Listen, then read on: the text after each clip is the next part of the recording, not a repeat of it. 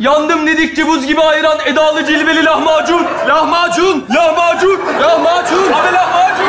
Kıyması bol olur, lavaşı da yok onun. Şifalı, şifalı, şifalı, şifalı, şifalı, şifalı lahmacun. Lahmacun.